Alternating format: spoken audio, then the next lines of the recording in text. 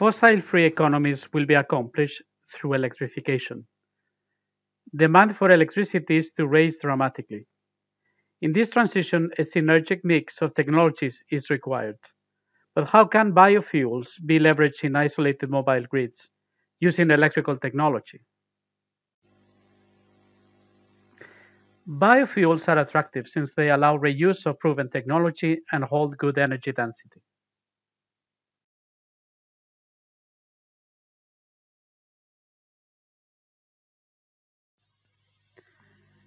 Design and operation of islanded microgrids in aerospace and maritime applications is critical to electrification.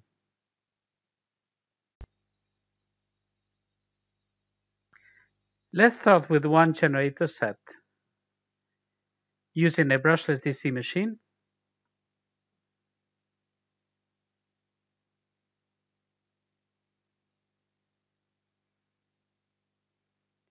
and an AC to DC rectifier.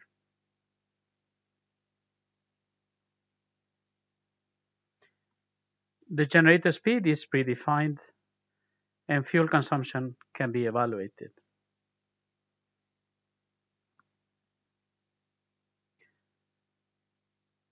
The electric power is regulated in order to charge a DC capacitor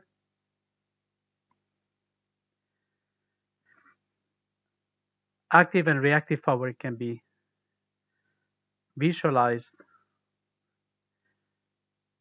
Then we can get a hint on fuel consumption as well. Once the physical behavior of individual components is grasped, an agile system model can be built. That includes energy management. In this example, five states, link charging, battery charging, energy harvesting, peak shaving, and autonomous full electric.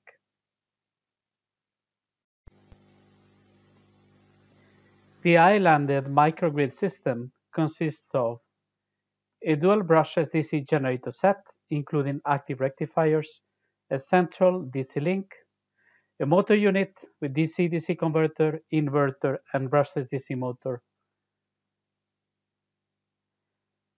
and then an energy storage unit consisting of two battery racks in parallel.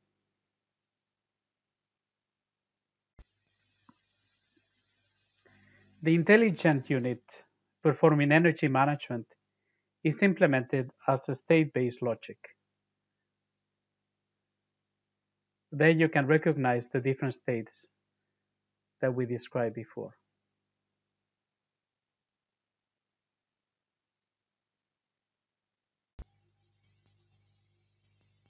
We can now see some key performance indicators as generator and motor torque, active and reactive power generated, stored, and consumed,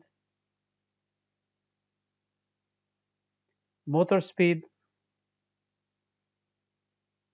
generator currents,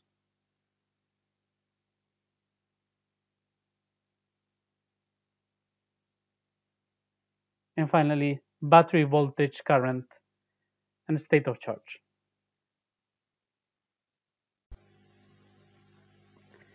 Insight on all physical quantities, such as back EMF, D and Q axis currents, can be granted by the tool as well. The simulation framework is now established. The concept can now be evolved through desktop analysis. By adding DC-DC converters in the generator sets, would it be possible to improve performance? The offline model can be used first, proving that fuel consumption goes down. If that is proven in the system model, results show that lower reactive power circulation is attained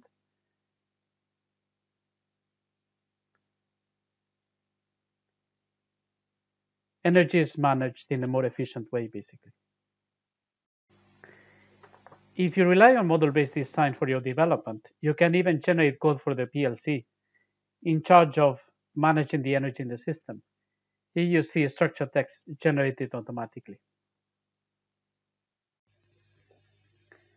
Have you got faith in simulation for a stronger development? Are you about to design electric systems for electrified transport? Are plant models the main gap in software development at your company? If so, please reach us at any time. Thank you for watching More Electric Tech.